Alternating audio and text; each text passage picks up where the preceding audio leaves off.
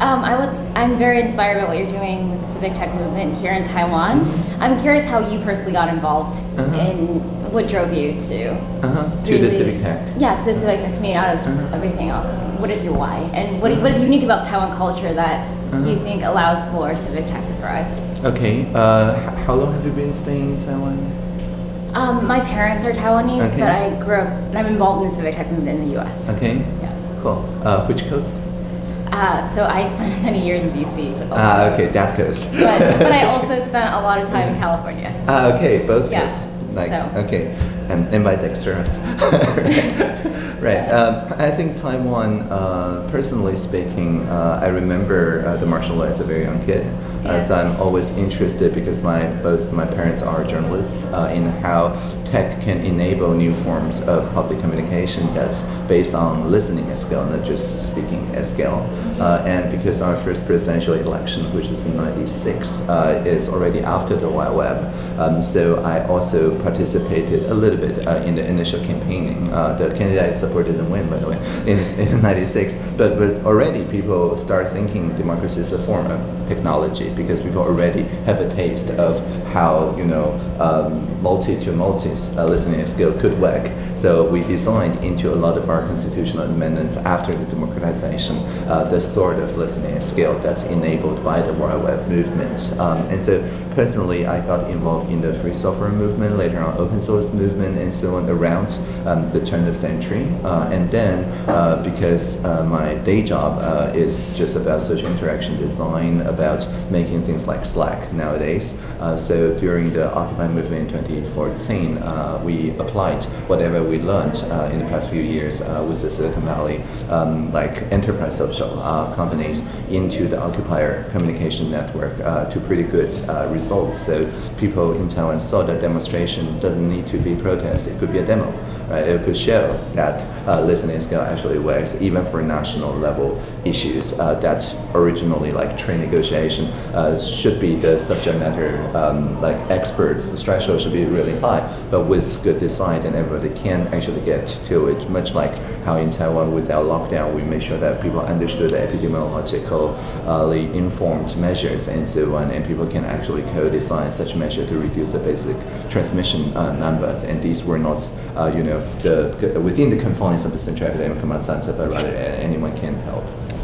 No, that's great. Um, what can I do? To, So I, I, in the U.S., I was part of a program. I still serve as president of the foundation of the Mhm. Presidential Innovation Oh, yeah. Fellows Foundation, Mhm. and I would love to bring technologists into Taiwan government. You know, Mhm. my Taiwanese identity is a Mhm. huge part of me, um, and I would love to see you know government here use. Do you have a dual nationality? Ah, okay. So you also have a passport here. Yes.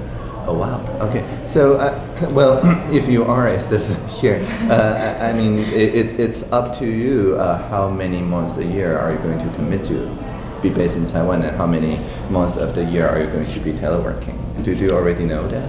No. Are you there? COVID is very. COVID is very strange, isn't it?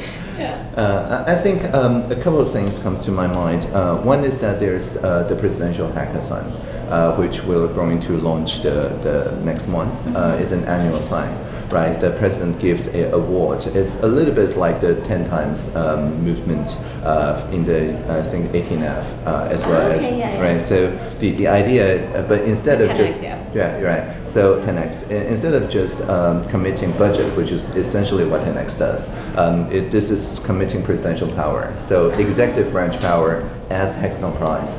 So every year we give out five trophies, and for each winner, um, we commit the trophy is a microprojector. If you turn it on, it projects the president committing to you. Whatever you did in the past three months will become national policy in the next 12 months. Wow, that's Uh, amazing. right. So, um, I mean, maybe you can consider um, as a mentor uh, or as a participant. Why not? Because you're a citizen. Why not? in, in one of the presidential hackathon uh, efforts here. And it allows anyone to participate. Exactly. That's really great. 'cause Exactly. 10x only allows for government employees, so. Right. Uh, of course, the presidential hackathon winners in each team, uh, there has to be at least one public sector uh, person. Uh, but also, we say it needs to be trisectoral. So at least one person from social sector and at least one person from the economic sector. So if the team composition wasn't like that in the beginning, uh, if uh, through a new voting method called quadratic voting, every year we choose 20 teams or so, and we incubate them to be properly trisectoral. Wow, no, that's amazing. Uh-huh.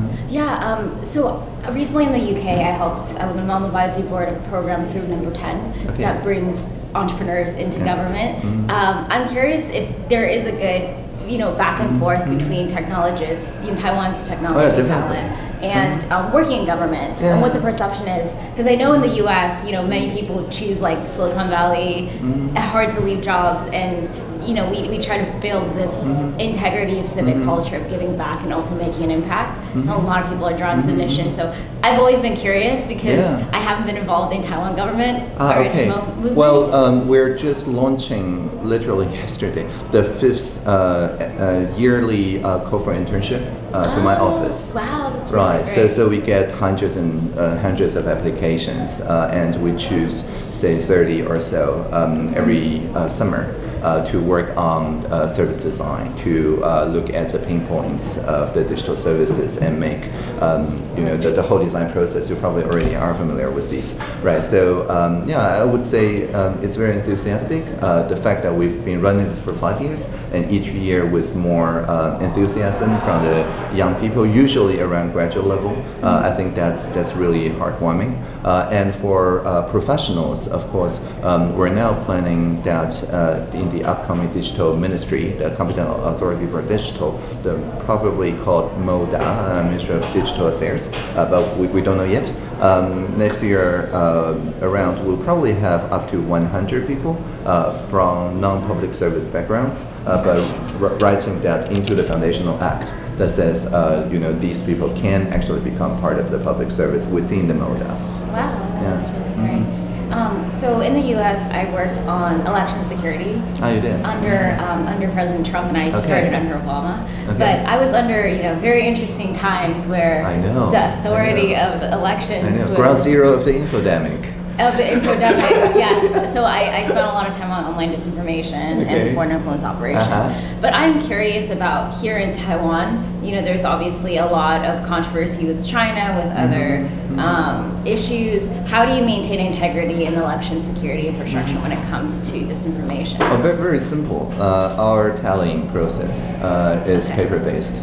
100%. Okay. Uh, and, you don't have um, states. and, and, and all the all the different parties have their own tallying app, Okay. and we allow observers to take films. Mm. Uh, and so, like for each count, like literally, uh, the various different parties just count in tandem in real time.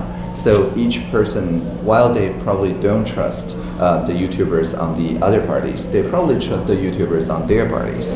Uh, and by making sure that um, it's a it's a fun, uh, participatory, more than three quarter of population did vote uh, and very interested in looking at the tallying results.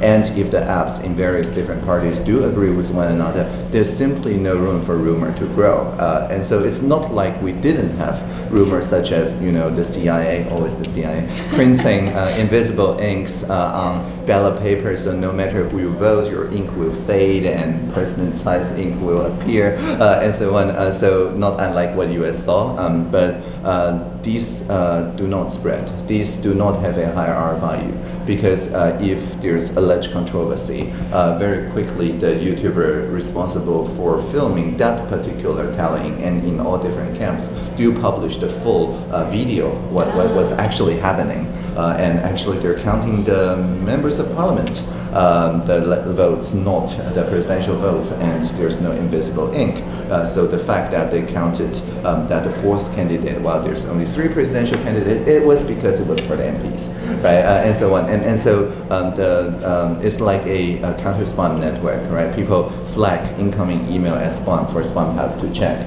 so that here um, people flag uh, like down the line, which is end-to-end encrypted channel, uh, as disinformation, and for say the Taiwan fact checker, Mi- MyGoPen, or the GovZero network, uh, Cofacts, and so on to cross-check. And it's a real ecosystem, and so many people install or not really install, invite the chatbot into their chat room, such as a Trend Micro uh, bot, and as an anti-scam, antivirus tool, which can also scan uh, incoming images. So counter disinformation is just one of its many functions right? And it's also counter phishing, among other things. Uh, and uh, Whoscall, which is a pretty popular startup, uh, also have their own, like Meiyue and so on. So there's an ecosystem of uh, real-time fact-checking going on, and it's crowdsourced, and therefore gaining its legitimacy by the fact that people of all different political parties do participate in this kind of cross-checking endeavor.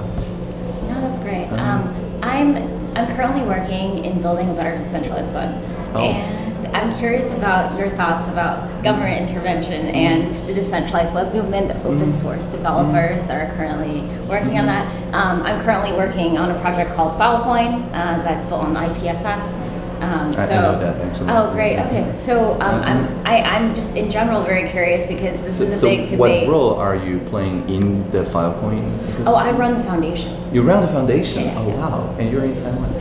That's great. Yeah. okay. So um, yeah, I think a couple of things. Uh, first of all, I think the civic tech, gov tech uh, binary distinction um, sh- um, i- is a is a drawback, Mm-hmm. um, and it's a false binary.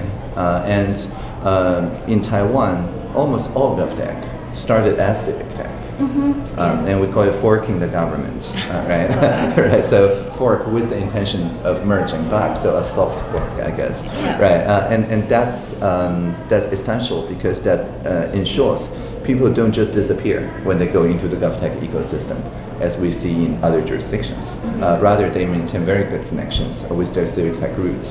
The GovTech merely adds uh, penetration testing, um, integration, API design, and things like that. Uh, that any large organization have to do anyway as part of the due diligence uh, in incorporating open source software, but it still stays open source, and we do contribute back to the civic tech ecosystem. Uh, I think government as a early adopter really helps a lot in legitimizing, uh, you know, emerging civic tech technologies, but it, it should not uh, actually take over and make it state-owned civic tech. Okay, um, so like I guess in terms of you know de- the decentralized web and when there's lack of centralization Mhm. in certain information bodies or certain files, like in the case of file, FileCoin, right? It's in in data storage. Where do you think what is the role of government? Should they play hands off? Mhm. Um, should they try to con- you know continue to prevent Mhm. bad things from happening? Should they guide in some way? So No, I mean if the ledger space, uh, because I'm also I'm a, a slash, right? I'm digital minister TW slash board member in like seven different international NGOs. Oh, okay, Right. great, So yeah. uh, on my RadicalxChange hat, for example, whenever uh, Vitalik and the Ethereum friends uh, come up with quadratic voting, we use it in presidential hackathon. When it come up with zero knowledge range proof, we use in the national insurance uh, and, and, and things like that, right? So, so the, the idea is that um, it, it's not about a hands-off or hands-on. It's about the public service does not consider ourselves as confined in the public space, but also we're also part of the social sector. Um, and so when the social sector innovation, the social innovation, the technologists uh, come up with something new, uh, we can actually contribute to it as a social sector person. Right. So, for example, I helped translating the counter disinformation, quite a say, website from the digital ambassador uh, Henri Verdier of uh, the, the French um, Foreign Service. Uh, but I did that as a GitHub pull request Oh, um, uh, contributor, right? Yeah, Not yeah. as digitalminister.tw. Yeah, yeah. Uh, and but it did get merged in, and uh, there's a traditional Chinese, a Mandarin version of that website now, uh, and the translation itself is actually quite political, right? Um, Just the fact that it's in French, English, and traditional Chinese Yeah. speaks volumes, um, and, and and so that may be uh, seen as a diplomatic move. But it's actually done by social sector collaboration, and and the same goes for, for example, the, the Tokyo Metropolitan's uh, the, the deputy mayor, I think, worked with Code for Japan to make sure that the coronavirus um, counter coronavirus strategy dashboard is done in GitHub, uh, and all it does is that uh, the Tokyo Metropolitan government give it a uh, government website domain name, uh, and so it subsequently get forked into many different municipalities uh, because kind of the mayor of Tokyo blessed uh, the civic tech into GovTech without taking control of it. And so we in the GovZero movement also help translating it, and I help translating uh, one kanji from the language selector, which got noticed, and um, Hal Seki-san, leader of Code for Japan, tweeted, and then uh, city councilor retweeted, and then the mayor of Tokyo retweeted it. So it again, looks like diplomatic, but yeah. it's actually just GitHub collaboration. Yeah, no, that's yeah. great. What do you think is the, is the general digital literacy of mm-hmm. most mm-hmm. most people here in Taiwan, but also international? Oh, we don't use that word anymore. Uh, okay, that's yeah, great. Starting a, a, couple a couple years ago, uh, we switched to the word competence. Competence, okay, right? So because that. literacy is when you're a reader or yeah, viewer, right? Competence is when you're a producer. And because in Taiwan, broadband is a human right that's bidirectional. So anyone can start a live stream anytime. Uh, in that sense, everyone is media. And so it's media competence, not literacy, because literacy is when there's still asymmetry and there's still broadcasters and receivers. Yeah, no, that's that's fantastic. Um, yeah, I, I guess um, you know my last question for you is where do you see you know civic tech of tech 10 years from now mm-hmm. what is your 10 years from now yeah uh, 10 years yeah by now by that time we'll finish the sustainable development goals all the goals all will be goals. met yeah, yeah, yeah okay. that's right no goals left behind and and i think um, civic tech instead of uh, people thinking that technology is mostly natural science and industrial applications. I think by that time, people will recognize that uh, social science is also science. Um, uh, open space technology is also tech. I mean, it says it's tech. Uh, nonviolent communication is tech, right? So anything that organizes the society differently uh, toward uh, decarbonization and so on, these are also tech. So, so our association uh, with the word tech will fundamentally change and will take a, I guess, civic first uh, association with the uh, word tech. And only then will people see that um, it, it, if the accountability and measurement mechanism is mature enough so that people can see all the externalities that we're making as part of the industrial application of technology, then people will make civic-minded choices kind of by default. Um, instead of now, it's a, a, little bit like playing, you know, uh, putting out fire. Are you working in the disinformation countering space? You know what I'm talking about, right? so, so civic by default. Yeah, no, that's great. Uh, sorry, I actually have one last question for you. Sure, sure. That's always you know been top of my mind. Sure, of course. Is um, I you know I grew up in Silicon Valley and saw a lot of innovation happen around uh-huh. me, and a lot of it is venture backed, right? Sure. And we're seeing a movement where there's more and more gov tech startups that uh-huh. are uniquely uh, standalone, uh-huh. but a lot of times most companies, enterprise companies especially, have you know government clients as an afterthought as a first Mm-hmm. So, what are your thoughts in general for uniquely civic tech or gov tech mm-hmm. related startups thriving in this future sure. of what you just described? Yeah, um, I think uh, right now the U.S. is having a conversation that we had in 2016 about the word infrastructure, uh, uh, and, right, uh, where we move from incentives to equity, right? Yeah, yeah, exactly. Okay, um, and, and and in 2016 uh, we uh, convinced the National Budgeting Office that even though something that's not concrete, like literally not made out of concrete, um, is still infrastructure if it is part of the commons. If it's the digital equivalent of a um, national museum, uh, like the digitalization, uh, the like photogrammetry uh, and videogrammetry of all the heritage sites, and that's national museum, but on the digital space, right? Uh, the kind of deliberative space we just talked about that qualifies as the digital equivalent of a town hall, uh, and this metaphor can be used in many ways, right? Right? The national park could also be digitalized, and so on. So this digital public infrastructure, we argue, uh, are worth uh, the special infrastructure bills, infrastructure money, even though it could not be classified as a traditional infrastructure investment because it's not made out of concrete.